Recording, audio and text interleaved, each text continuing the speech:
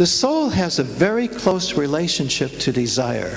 Very, very close relationship to desire, to, I thought that was still up here, sex, pleasure, uh, intimacy, beauty. The soul has a very close relationship to that. Now, I'm going to tell you just a little story about that.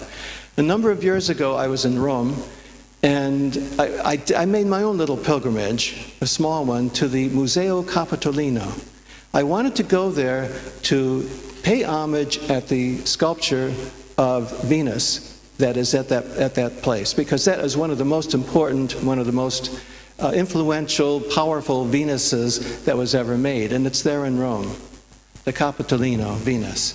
So I went up there, but as I was heading, I finally got to her, but as I was going to, to, uh, to the third floor of that place to see her, on the second floor, I was walking down this very wide marble corridor, and at the end of the corridor, I couldn't believe my eyes what was there.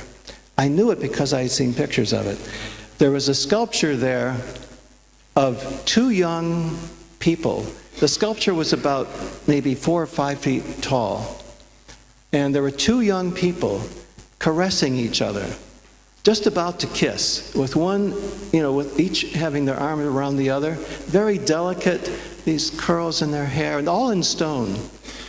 And, and just very delicately holding each other. And you know who those two were? Psyche and Eros. Do you know who Psyche and Eros are? Psyche is the soul, Eros is pleasure, sensuality, lust, desire, pleasure. What did I say? I keep saying pleasure. Um, uh, this, this is who we have there in that sculpture. We have the soul yearning for love, for desire and lust and sensuality, and we have uh, desire and pleasure and sexuality yearning for soul in that sculpture. It's a magnificent sculpture. I don't know, I don't know what, what you could have more precious than that image of, of what is going on within us in our society and in ourselves. Our soul longs for pleasure. Our soul longs for uh, of sexual fulfillment. And I want to say what I mean by that later. Our soul longs for uh, the ability to feel desire and to feel our lusts and to feel our, our um, attractions without feeling bad about them. I think, I think our soul longs for these things. I'm not suggesting at all any kind of immorality in this. In fact, just the opposite. There's a kind of morality that comes out of that acceptance of desire that is much stronger, much more, in fact, somewhat more limiting in many ways than that other kind that is sheer repression. There's a huge difference between repressing these desires and uh, allowing them their place and then finding that they have their limits. And they're okay. It's all right to love, to have your soul love all of those feelings and those desires. And it's all right to have those desires as long as they have a soul because they need the soul for completion. We should all go now, shouldn't we, to Rome and bow down before that, that sculpture of uh, Psyche and Eros.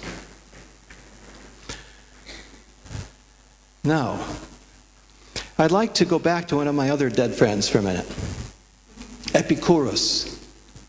Epicurus was a philosopher born in the year 341 BC, a long time ago. And he, he, became a philosopher. He traveled a little bit. Then he settled in, in Athens. And he created a school of philosophy called, it's usually called the Garden School. Um, because he, he met, his friends would meet in this garden of his house. I've often imagined it, you know, with maybe with lettuce and cucumbers around, like a Greek salad, you know, they're sitting there in this Greek salad discussing desire and pleasure. And interestingly, Epicurus, his group included men and women, free people and slaves. It was, it was an all inclusive group and equals of equals. Epicurus himself was, a, was known as a very kind, gentle, moderate, very, very moderate person. We have one statement about him. He, asked a friend, he said, just bring me a half a pound of cheese and I'll be feasting for the next month. And he was not, you know, we think of Epicureanism as overeating and indulgence. It has nothing to do with Epicurus whatsoever. Epicurus' philosophy and his way of life was extremely moderate. He said you can't have pleasure unless the people around you also have pleasure. We have to have a community, we have to be responsible to the people with us before we can have pleasure. He said that there are pleasures that are very natural, there are pleasures that, that are necessary, like food and sleep and other things, sex, and there are pleasures that aren't necessary, you know, like. Uh, what's it called, a Lamborghini or something. You know, you don't need a really fancy car. You don't need, there are things we don't need we might like and they, they please us, but th- those are not necessary pleasures. He said there are kinetic pleasures and there are static pleasures. He, that means he says there are some pleasure, some pleasures that you enjoy as you're doing them and then they're kind of over, and there are other pleasures you have that just stay with you forever or for a long time.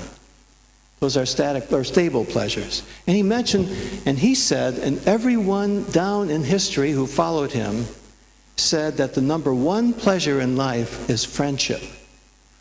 And all the Epicureans, when you look in the history of Epicurean writing, they all talk about friendship. Ficino, who was an Epicurean, um, uh, wrote letter after letter about the qualities of friendship and how to cultivate friendships and how important it was to cultivate friendship. He even wrote a letter, one letter called the Convivium, convivium, which means to live together, convivial. He wrote a, a one letter on how to gather together convivially and how to get your friends together. He wrote a letter and even tells you what kind of food to get and, and how to plan your party and all of this because friendship is the number one thing. Just think of it. When you have a friend, this is a, this is a stable pleasure. This is not something you just have and you have for a moment, but it's a stable pleasure. That's how he looked at it. Now, it's my view, it's my sense that when we don't allow ourselves, for one reason or another, the, the, the stable, the stable, necessary uh, ordinary pleasures of life, bad things happen. I think it breeds violence. I think that breeds violence. It's, you can't get away with just not having those pleasures. It's not like saying, well, I just don't have those in my life. What happens, you don't have them, there are results. There's a, there's a response, something, there's a, there's a consequence to not having those pleasures. And what are those consequences? One might be depression. Remember, it's the soul that gives a sense of vitality. And the soul loves desire and pleasure. Remember the statue of uh, Eros and Psyche. You don't give the soul its pleasure, I think that's a cause of depression, a major cause of depression. And we have a lot of depressed people in this world. We have a lot of depressed, wealthy people with good jobs, going to work every day, with, with families, all of those things, but depressed. What's that depression? Because, not because of it for an external reason, because they've got everything they need, it seems. I think they don't have the deep pleasure that Epicurus was talking about.